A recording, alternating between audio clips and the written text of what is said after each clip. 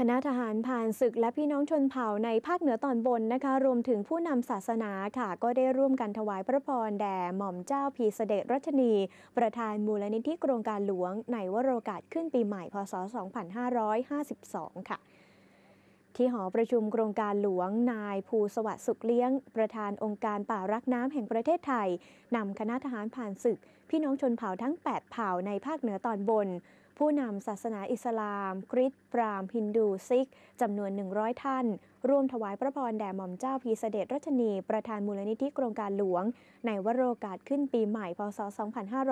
2552ซึ่งต่างสำนึกในพระมหากรุณาธิคุณที่พระองค์ทรงทำงานด้วยความวิริยะอุตสาหะ ต่างพระเนตรประกัน องค์พระบาทสมเด็จพระเจ้าอยู่หัว และสมเด็จพระนางเจ้าพระบรมราชินีนาถ